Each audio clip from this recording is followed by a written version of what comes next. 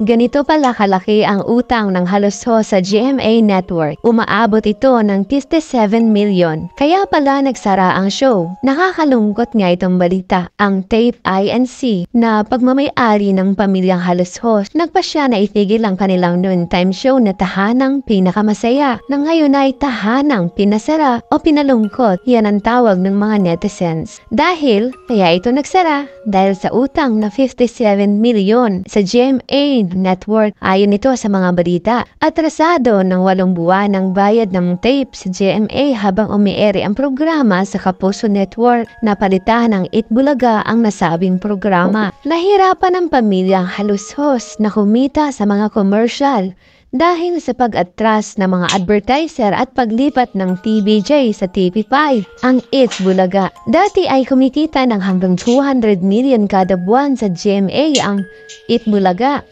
Ngunit sa kabila ng pagbawas ng ad rates ng tape para sa tahanang pinakamasaya, hindi pa rin ito kumikita ng sapat para impang tustos sa programa kaya nagkautang-utang tuloy. Bukod sa malaking utang sa GMA, hindi rin nabayaran ng tape ang sahod ng mga celebrity host ng programa. Wala pang sagot dito ang tape at ang mga halos-host. Ano ang masasabi mo sa senaryo na ito para sa iyo? Sang-ayong ka bang muling bumalik ang noontime show na tahanang pinakamasaya? O dapat nga ba talagang baguhin ang mga host at baguhin ang kanilang title?